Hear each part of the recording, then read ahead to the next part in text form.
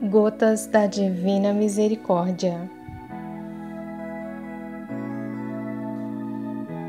Diário de Santa Faustina, estamos no primeiro caderno do Diário de Santa Faustina, meditando diariamente alguns parágrafos do diário. E hoje nós continuamos meditando no parágrafo 506.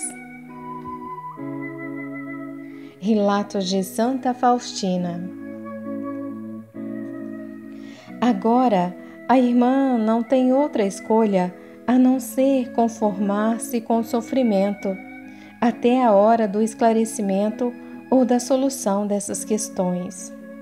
A irmã está em boa disposição quanto a essas coisas e peço que continue a ser tão cheia de simplicidade e de espírito de obediência. Isso é um bom sinal.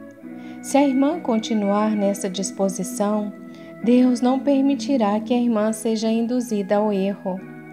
Mas, na medida do possível, mantenha-se afastada dessas coisas e, se apesar disso elas ocorrerem, deve aceitá-las tranquilamente, sem ter medo de nada. Você está em boas mãos, nas mãos do Deus de bondade. Em tudo isso que você me contou, não vejo qualquer ilusão ou que contradiga a fé. São coisas boas em si mesmas e até seria desejável se houvesse um grupo de almas que pedissem a Deus pelo mundo, porque todos necessitam de oração. Você tem um bom diretor espiritual, deixe guiar-se por ele e fique tranquila. Seja fiel à vontade de Deus e a cumpra.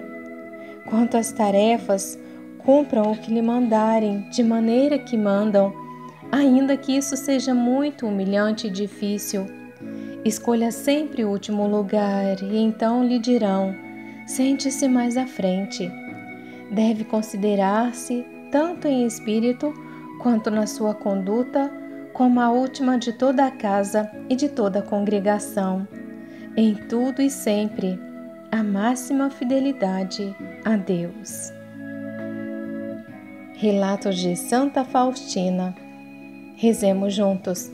Eterno Pai, eu vos ofereço o corpo e o sangue, a alma e a divindade de vosso diletíssimo Filho, nosso Senhor Jesus Cristo, em expiação dos nossos pecados e dos pecados do mundo inteiro Ó sangue e água que jorrastes do coração de Jesus, como fonte de misericórdia para nós, eu confio em vós.